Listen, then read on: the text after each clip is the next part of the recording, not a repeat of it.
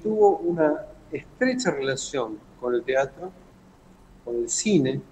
Él hizo la música de alguna película, un par de películas de Pino Solanas, con la literatura, con su profunda amistad con Ricardo Piglia, pero también con Griselda Gámbaro y con otros tantos escritores, y con la pintura. Es decir, un, un tipo que tocaba maravillosamente el piano, componía maravillosa música y además fue un gran impulsor de la música contemporánea en nuestro país. Todos los de mi generación y un poco más y un poco menos nos hemos educado musicalmente en los ciclos que Gerardo organizó en los años 80 y 90 allá en San Telmo, en la Fundación San Telmo, en la calle Defensa, en el Centro Cultural Recoleta, en el Instituto Goethe, cuando funda a instancias de Sergio Renán el Centro Experimental del Teatro Colón.